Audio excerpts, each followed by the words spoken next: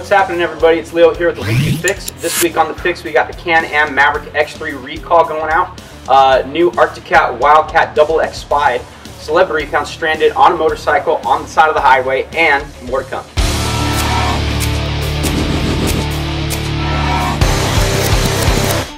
Okay everybody, big news with the Maverick X3.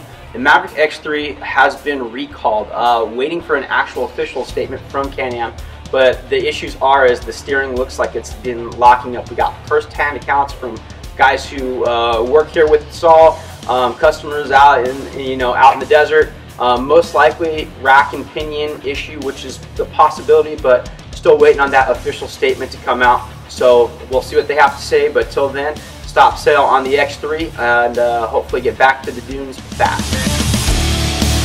Okay, UTV fans, we've been waiting for Arctic Cat to come out with a new Wildcat for a long, long time now.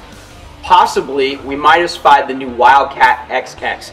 Dropped on Instagram, we got photos, we got video. Um, sounds of it from the video appear to sound like three-cylinder possibly.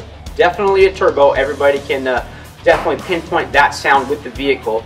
Um, what we really want to know is, is this going to be a production line vehicle? Will Arctic Cat finally improve their power output on this uh, on this side by side. Uh, we've been waiting, and we sure hope so.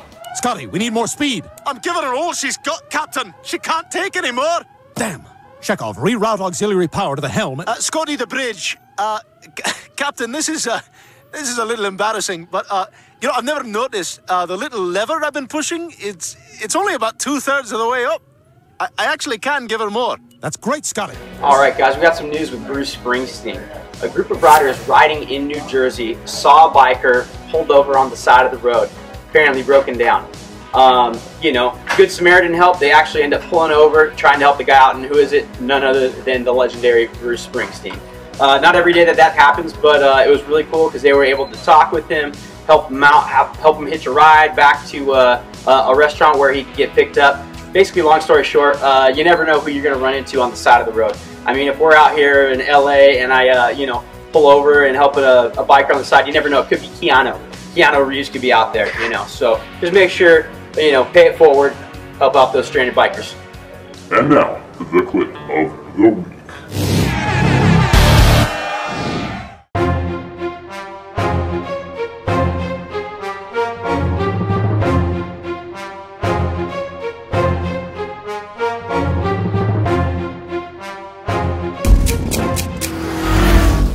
we got to talk about uh, our good friend Kevin McPherson.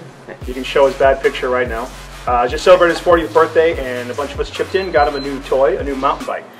So we took him mountain biking for the first time, and uh, well, I mean, Leo can tell you a little bit about it. It was the uh, the McPherson frenzy. Uh, he was making his way up the hill. We're actually proud of him. He really yeah, he just uh, he threw down, but um, yeah, he definitely enjoyed his new birthday present. Uh, can't go wrong. And uh, yeah, he didn't have a case. Himself. Didn't have a case of the Miguel's. Uh, didn't turn around anywhere. Didn't throw up like uh, most people here that we've taken riding. Yeah. Didn't knock himself out like Matt or Curtis. Yep. And uh, not to name drop or anything. Yeah. yeah. And no, he really did. He did a great job. And actually, I was really impressed. So.